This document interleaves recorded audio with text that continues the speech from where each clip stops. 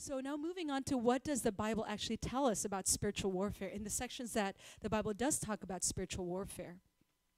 And one of the points uh, that we need to understand that the Bible very explicitly tells us is that we must be aware of the battle.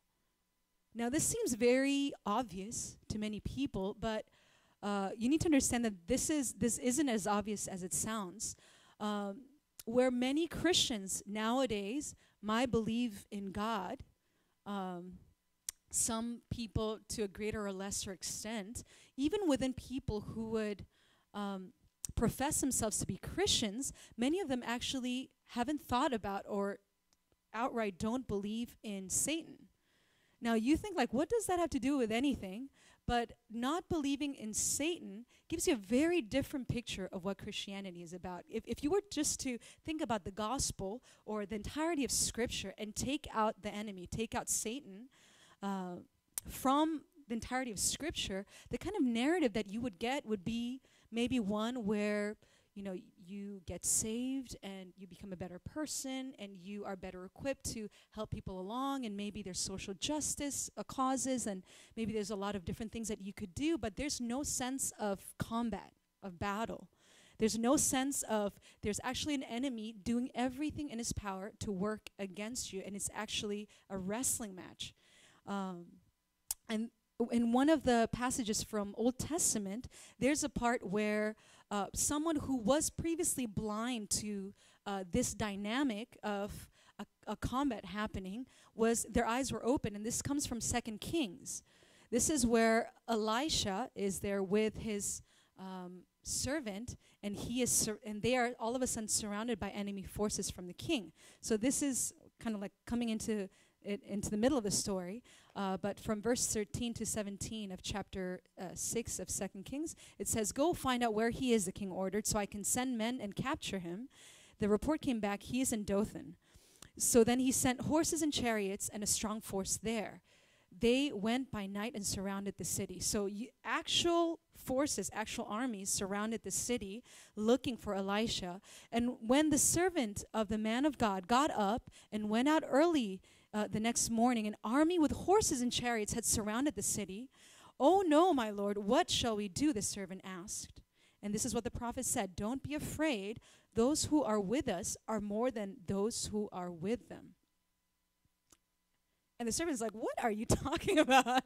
what are you talking about? You, don't you see this, this army surrounding us? And so Elisha prayed, Open his eyes, Lord, so that he may see. Then the Lord opened the servant's eyes, and he looked and saw the hills full of horses and chariots of fire all around Elisha. So this is a moment in scripture where we're just reading this narrative in Old Testament scripture and we're like, okay, now there's going to be another of the many battles and then we get this glimpse that there's something much deeper going on than what we actually see in the natural. And with this prayer, of, of Elisha asking his, for his servant's eyes to be open, there's a new dimension that is actually opened up. It's almost like the veil comes up just for a second, just long enough for the servant to see. And this gives us a glimpse into something that is happening all the time, but we only get a glimpse of it here and there. So, this is one of the many times in Scripture where this happens. And many times, especially in modern Christianity, we tend to minimize a lot of the supernatural dynamics of the Bible. You know, things like, you know, miracles happening, or floods, or plagues, or punishments, or angels. All these things are part of Scripture. This is something actually that happened in history. And many times we tend to either over spiritualize it or neglect it altogether. So, that to, all that to say, we must be aware of the battle. It's very easy, especially nowadays, to live decades of your life as a Christian and be completely unaware of a battle that is going on. And the Bible doesn't make an allowance for us to do that. Second is we must have the proper perspective. We must have proper perspective of the battle. One of the dangers of talking about spiritual warfare is that you can overemphasize it or you can underemphasize it. So just now we were talking about the underemphasis of it. If we don't talk about it at all, our Christianity and our journey with the Lord and what we're called to do and how we're called to impact the nations, it is greatly minimized. It's almost like a like we're cut at the knees in what we're able to do if we don't talk about spiritual warfare at all. But now that we do talk about it, we must have proper perspective of the battle. The danger of, for example, overemphasizing spiritual warfare is that you can become very unbalanced in your view of it as well. I don't know if you have ever encountered people like this who perhaps they are over, um, what's the word?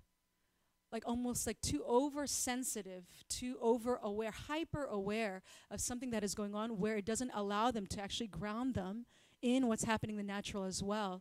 Or I don't know if you've heard if you know like you're talking about uh, you know you're counseling somebody through a problem or they're talking about something that happened in their life and um, then their solution is like this is a sp- spirit of mm.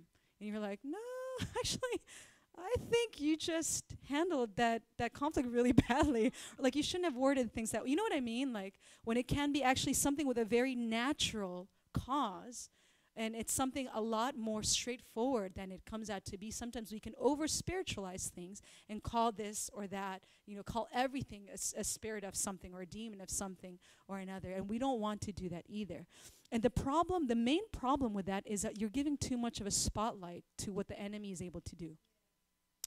Now, when we talk about the spiritual, uh, when we talk about spiritual warfare, we must always start out from a place of understanding where we sit and where we stand as people of God. Now, in Romans 8, there's, you know, the, the final passage from Romans 8, it talks about where believers stand regarding all the attacks of the enemy. And this is what it says. This is what Paul says through Romans. Uh, what then shall we say to these things? If God is for us, who can be against us? He who did not spare his own son, but gave him up for us all, how will he not also with him graciously give us all things? Who shall bring any charge against God's elect? It is God who justifies. Who is to condemn? Christ Jesus is the one who died, more than that, who was raised, who is at the right hand of God, who is indeed is interceding for us. So we are not just seated with him, but we're also being interceded for. Who shall separate us from the love of Christ? Shall tribulation or distress or persecution or famine or nakedness or danger or sword, as it is written, For your sake we're being killed all the day long. We are regarded as sheep to be slaughtered. But no, in all these things we're more than conquerors through him who loved us. For I am sure that neither death nor life, nor angels nor rulers, another translation for that is demons or principalities, nor things present, nor things to come, nor powers, nor height, nor depth, nor anything else in all creation will be able to separate us from the love of God in Christ Jesus our Lord. So, this should establish us in a place of confidence and understanding who we are in God's sight.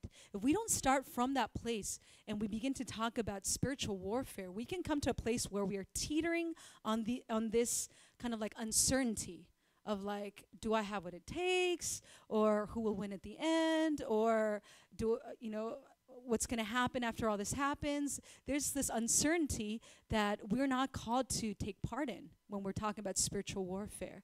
And many of us kind of edge away from the whole topic of spiritual warfare because of this. We're like, well, if we start thinking about these things, where more things happen. It's almost like saying Beetlejuice, you know, like if you say it, like, will it happen? Like, will it invoke these things upon your life or something?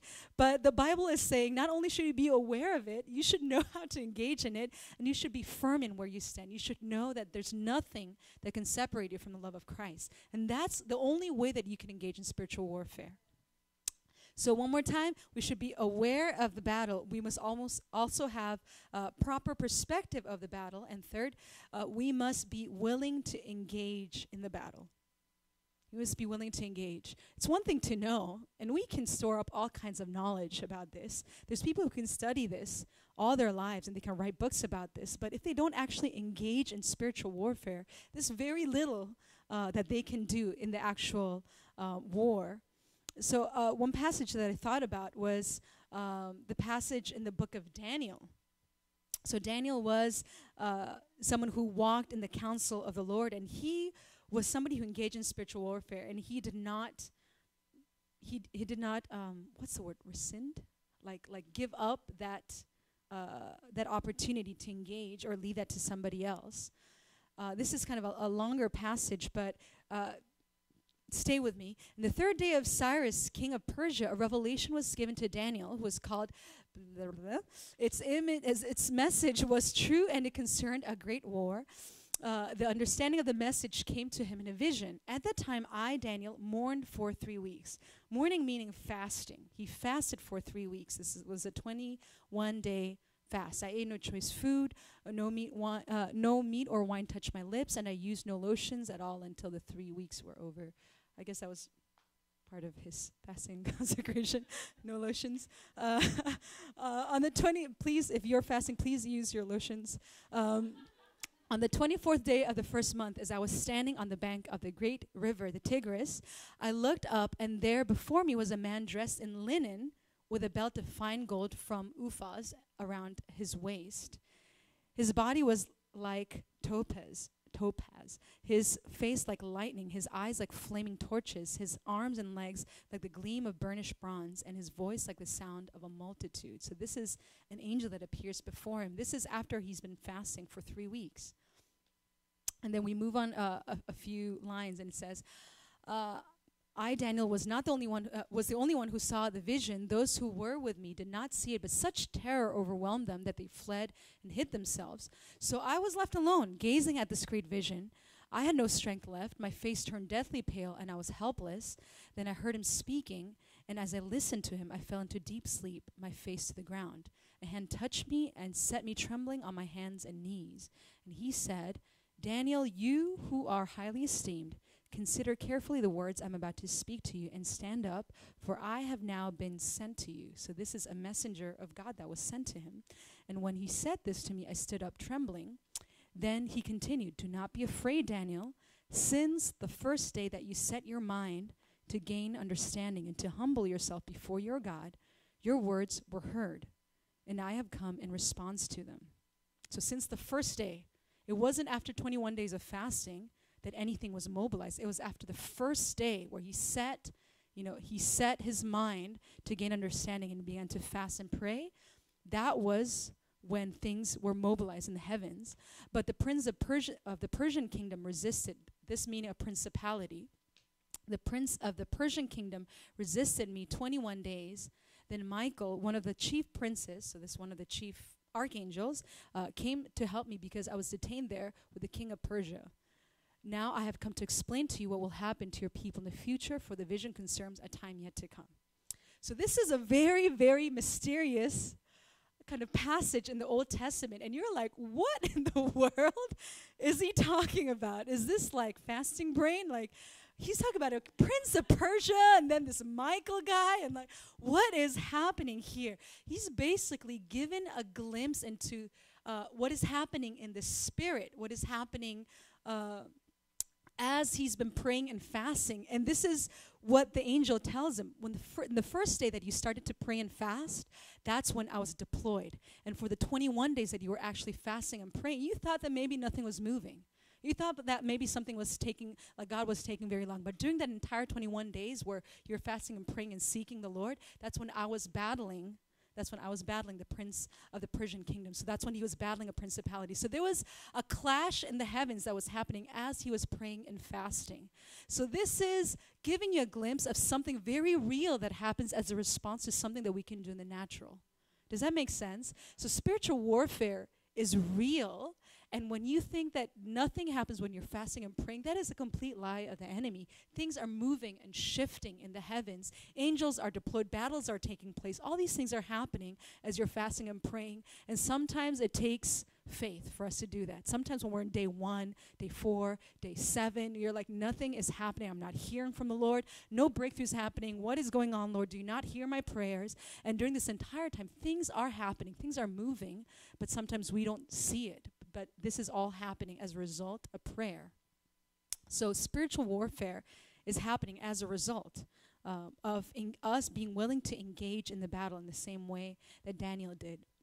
And lastly, uh, we must be confident in the outcome of the battle. That, that kind of touches on where we stand, you know, as believers. We must be confident in the outcome of the battle. It would be terrible if the Bible ended not at Revelation, but somewhere else, you know, like a, a, a few books before that. and we didn't get a glimpse of how s- the story actually ends. But we were actually given the privilege of knowing actually the ending, even before it's actually happened. It's like spoiler alert. We're we're given we're already you know the, we already know exactly where this is going, and yet many of us still are like I don't really know what's going to happen. Like I, anything you know anything can happen from from here. Like maybe the devil will win, or maybe this will happen. Maybe the um, you know the saints will not prevail, uh, and there's such unnecessary uncertainty when it comes to how what the outcome of the battle is. But it's very clear in Revelation uh, 20. Uh, Revelation 20 says, Then I saw an angel coming down from heaven, holding in his hand the key to the bottomless pit and a great chain, and he seized the dragon that ancient serpent, who is the devil and Satan, and bound him for a thousand years, and threw him into the pit, and shut it, and sealed it over him, so that he would not deceive the nations any longer until the thousand years were ended. After that, he must be released for a little while. So it's like the devil is down, it's game over, but there's going to be a little comeback. And so you're like, okay, maybe there is, it's an open ended kind of story, but no. We, we go on to a few, uh, a few verses down uh, that same chapter, and it says, um, and when the thousand years are ended, Satan will be released from his prison and will come out to deceive the nations that are in the four corners of the earth, Gog and Magog, to gather them. Don't worry about Gog and Magog. To gather them for battle. Their number is like the sand of the sea, and they marched up over the broad plains of the earth and surrounded the camp of the saints and the beloved city, meaning Jerusalem. But fire came down from heaven and consumed them, and the devil who had deceived them was thrown into the lake of fire and sulfur, where the beast and the false prophet were, and they will be tormented day and night forever and ever. And they lived happily ever after. That's basically how the story ends. So there is no mystery to that. When it comes to engaging in spiritual warfare, we must know that God has to overcome. He will overcome. That's how the story ends. So that's going to place us, that's going to set our feet in a very firm foundation where we're not shaken by any of the attacks of the enemy and we're not intimidated by anything that the enemy throws our way in the meantime. Does that make sense? All this matters tremendously when we talk about spiritual warfare. Without these foundations, we get we can become very weird Christians. We can everything will become about like I don't know if the devil's going to win this one or you know, it becomes like just a kind of weird Christianity. But when we have that revelation of we know exactly who we are, we know exactly how the story ends, and we've been given everything that we need for this victory, uh, then there is no uncertainty when it comes to that.